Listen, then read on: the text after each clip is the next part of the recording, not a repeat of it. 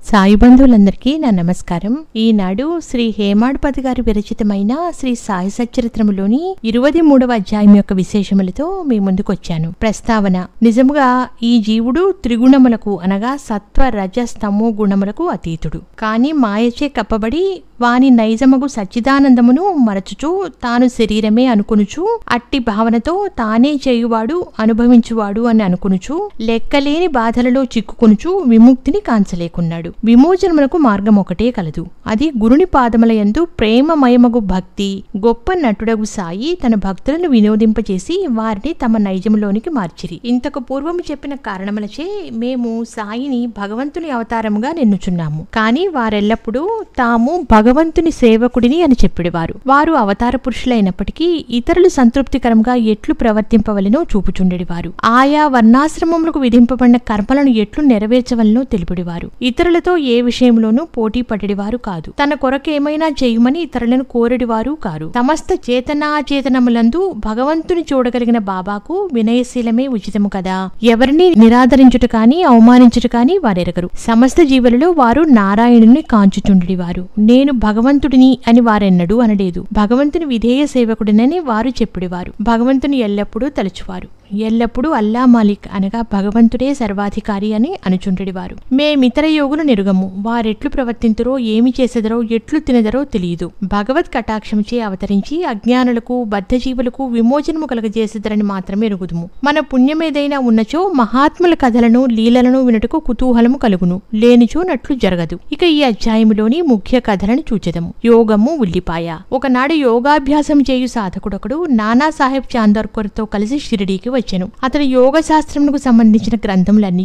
చదివెను. తుదకు పతంజలి యోగ సూత్రములను కూడా చదివెను. కానీ అనుభవం ఏమీ లేకుండెను. అతను మనసును కేంద్రీకరించి సమాధి స్థితిలో కొంచెం సేపైనా ఉండలేకుండెను. సాయిబాబా తన ఎడ ప్రసన్నుడైనచో చాలాసేపు సమాధిలో ఉండుట నేర్పెదరు అని అతడు అనుకునెను. ఈ లక్ష్యముతో అతడు షిరిడీకి వచ్చెను. అతడు మసీదుకు పోయి చూసరికి బాబా ఉల్లిపాయతో రొట్టె తినుచుండిరి. దీనిని చూడగానే అతని మనసున ఒక ఆలోచన మెదిలెను. రుచిలేని రొట్టెను పచ్చి ఉల్లిపాయతో తినువాడు నా కష్టములను ఎట్లు తీర్చగలడు నన్నెట్లు ఉద్ధరించగలడు. సాయిబాబా అతని మనసును మెదిలిన ఆలోచనను గ్రహించి నానా సాహెబ్తో ఇట్లనియను. నానా ఎవరికైతే ఉల్లిని జీర్ణించుకున్న శక్తి కలదో వారే దానిని తినవలెను. ఇది విని ఓ యోగి ఆశ్చర్యపడెను. వెంటనే బాబా పాదములపై పడి సర్వస్వ శరణాగతి చేసెను. స్వచ్ఛమైన మనసుతో తన కష్టములను తెలిపి ప్రత్యుత్తరములను బడసెను ఇట్లు సంతృప్తి చెంది ఆనందించువాడై బాబా ఉదీ ప్రసాదముతో ఆశీర్వచనములతో షిరిడి విడిచెను. పాము కాటు నుండి శ్యామాను కాపాడుట. ఈ కథను ప్రారంభించక పూర్వము హేమాడు పంత్ జీవుని పంజరంలోనున్న రామచిలకతో సరిపోల్చవచ్చునండ్రి రెండును బంధింపబడియే ఉన్నవి. ఒకటి శరీరములోను రెండవది పంజరమందును. రెండును తమ ప్రస్తుత స్థితియే బాగున్నది అనుకునిచున్నవి. సహాయకుడు వచ్చి వానిని బంధముల నుండి తప్పించకనే వానికి నిజము తెలియను. భగవత్ కటాక్షముచే గురువు వచ్చి వారి కండ్లను తెరిపించి బంధ విముక్తులు చేసినప్పుడు వారి దృష్టి అన్నిటికంటే గొప్ప స్థితి వైపు పోవును. అప్పుడే గతించిన జీవితం కంటే రానున్నది గొప్పది అని గ్రహింతురు. గత అధ్యాయంలో మిరీకరకు రానున్న అపాయము కనిపెట్టి దాని నుండి అతనిని తప్పించిన కథ వింటిరి. అంతకంటే ఘనమగు కథను ఇచ్చట వినిదరు. ఒకనాడు శ్యామాను విషసర్పము కరిచెను. అతని చిటికన విరలను పాము కరచొడిచే శరీరంలోనికి విషము వ్యాపింప మొదలెడెను. బాధ ఎక్కువగా ఉండెను. శ్యామ తాను మరణించదును అనుకొనను. స్నేహితులు అతన్ని విఠోబా గుడికి తీసుకుని పోవ నిశ్చయించిరి. పాము కాట్లు అచ్చట బాగవుచుండెను. కాని శ్యామ తన విఠోబాయకు బాబా వద్దకు పరుగుడెను. బాబా అతనిని చూడగానే కోపముతో వానిని తిట్టనారంభించను.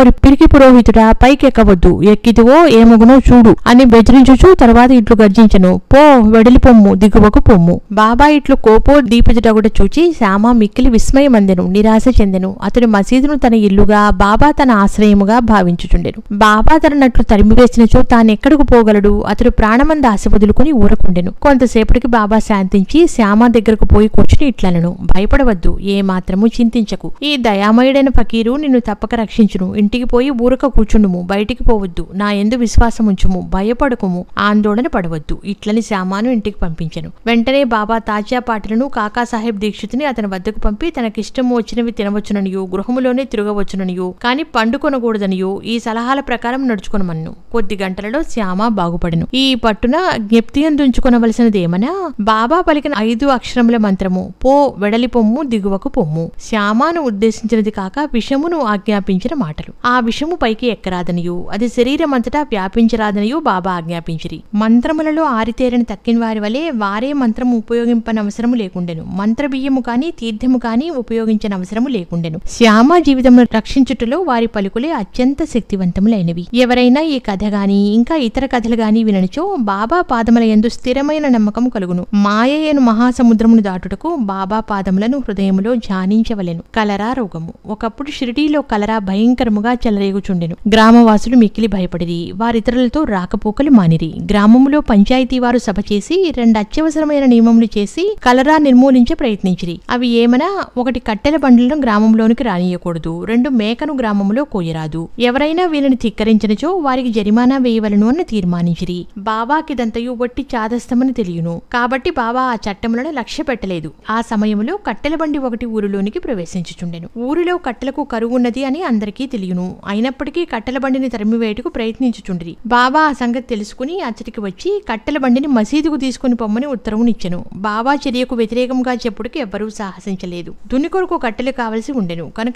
బాబా కట్టెలు కొనెను. నిత్యాగ్నిహోత్రి వలె బాబా తన జీవితమంతయు దునిని వెలిగించియే ఉంచెను. అందులకై వారికి కట్టెల అవసరం గనక వాటిని నిల్వ చేయువారు. బాబా గృహము అనగా మసీదు ఎప్పుడూ తెరిచి ఉండేది ఎవరైనా పోవచ్చును. దానికి తాళము చెవి గానీ లేదు. కొందరు తమ ఉపయోగం కొరకు కొన్ని కర్రలను తీసుకుని పోవారు అందులకు బాబా ఎప్పుడునూ గొణుక్కొనలేదు ఈ ప్రపంచమంతయు దేవుడే ఆవరించి ఉండుడిచే వారికి ఎవరి యందు శత్రుత్వము ఉండేది కాదు. వారు పరిపూర్ణ విరాగులైనప్పటికీ సాధారణ గృహస్థులకు ఆదర్శంగా నుండుటకై ఇట్లు చేయుచుండెడి వారు. గురు భక్తిని పరీక్షించుట. రెండవ కలరా నిబంధనమును బాబా ఎట్లు తీకరించిన చూతము. నిబంధనము అమలులో ఉన్నప్పుడు ఎవరో ఒక మేకను మసీదుకు తెచ్చిరి. ఆ ముసలి మేక దుర్బలముగా చావుకు సిద్ధముగా నుండెను. ఆ సమయమున మాలేగాం ఫకీర్ పీర్ మహమ్మద్ ఉరఫ్ బడే బాబా అచటనే ఉండెను. సాయిబాబా దానిని ఒక కత్తి వేటుతో నరికి బలివేయమని బడేబాబాకు చెప్పాను. చెప్పెను ఈ బడేబాబా ఎందు సాయిబాబాకు ఎక్కువ గౌరవము. ఆయనను ఎల్లప్పుడూ సాయిబాబా తన కుడివైపున కూర్చోబెట్టుకునేవారు వారు చిలుము బడేబాబా పిలిచిన పిదప సాయిబాబా పిలిచి ఇతరులకు ఇచ్చేవారు మధ్యాహ్న భోజన సమయమందు సాయిబాబా సాధారణంగా బడేబాబాను పిలిచి ఎడమ ప్రక్కన కూర్చుండబెట్టుకున్న పిమ్మట భోజనము ప్రారంభించేవారు. దక్షిణ రూపంగా వసూలైన పైకం నుంచి ఆయనకు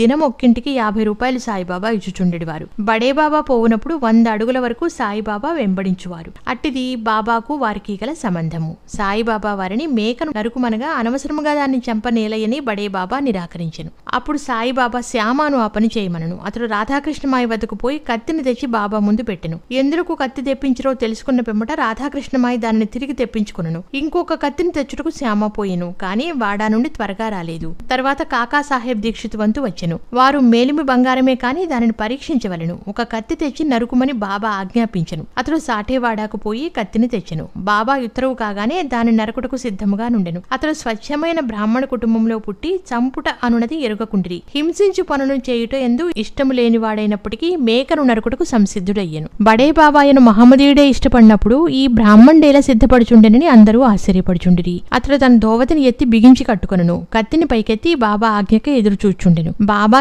ఏమి ఆలోచించుచుంటివి నరుకుము అనను. అతని చేతిలో ఉన్న కత్తి మేకపై పడుటకు సిద్ధముగా నుండగా బాబా ఆగుమనను. ఎంతటి కఠినాత్ముడవు. బ్రాహ్మణుడవై మేకను చంపెదవా అనెను. బాబా ఆజ్ఞానుసారము దీక్షిత్ కత్తిని కింద పెట్టి బాబాతో ఇట్లనిగే నీ అమృతము వంటి పలికే మాకు చట్టము. మాకింకొక చట్టం ఏమీయునూ తెలియదు. నిన్నే ఎల్లప్పుడూ జ్ఞప్తి అందుంచుకునేదము మీ రూపమును ధ్యానించుచు రాత్రింబవళ్ళు మీ ఆజ్ఞలు పాటించుము అది ఉచితమా కాదా అనునది మాకు తెలియదు. దానిని మేము విచారించము. అది సరైందా కాదా అని వాదించము తర్కించము. గురువు ఆజ్ఞ అక్షరాలా పాటించడే మా విధి మా ధర్మము. బాబా తామే మేకను చంపి బలి చేసేదనని చెప్పిరి. మేకను తకియా అను చోట చంపుడుకు నిశ్చయించిరి. ఇది ఫకీరులు కూర్చుని స్థలము. అతడికి దాన్ని తీసుకుని పోవునప్పుడు మార్గమధ్యమున అది ప్రాణములు విడిచెను. శిష్యులు ఎన్ని రకములో చెప్పుచు ఈ అధ్యాయమును హేమాడ్పంతి ముగించుచున్నారు. శిష్యులు మూడు రకములు. ఒకటి ఉత్తములు రెండు మధ్యములు మూడు సాధారణులు. గురువులకేమి కావాలనో గుర్తించి వెంటనే వారు ఆజ్ఞాపించక పూర్వమే దానిని నెరవేర్చేవారు ఉత్తమ శిష్యులు. గురుని ఆజ్ఞానుసారము ఆలసింపక అక్షరాలా నెరవేర్చేవారు మధ్యములు. మూడవ రకము వారు అడుగడుగును తప్పులు చేయుచు గురుని ఆజ్ఞను వాయిదా వేసెదరు. శిష్యులకు దృఢమైన నమ్మకం ఉండవలెను. తోడుగా బుద్ధి కుశలత ఓరిమి ఉన్నచో అట్టి వారికి ఆధ్యాత్మిక పరమావధి దూరము కాదు. ఉచ్ఛ్వాస నిశ్వాసములను బంధించుట కాని హఠయోగము కాని ఇతర కఠినమైన సాధనలన్నీయును అనవసరము. పైన చెప్పిన గుణములను అలవర్చుకున్నచో వారు ఉత్తరోత్తరోపదేశముల కరుహులు అగుదురు అప్పుడు గురువు తటస్థించి జీవిత పరమావధిని పొందుటకై ఆధ్యాత్మిక మార్గమున నడిపింతురు. వచ్చే అధ్యాయంలో బాబా యొక్క హాస్యము చమత్కారముల గురించి చెప్పుకుందుము. ఇరువది మూడవ అధ్యాయము సంపూర్ణము. ఓం సాయి శ్రీ సాయి జై జయ సాయి सर्व श्री श्रीसायिनाथार्पणमस्तु स्वस्ति।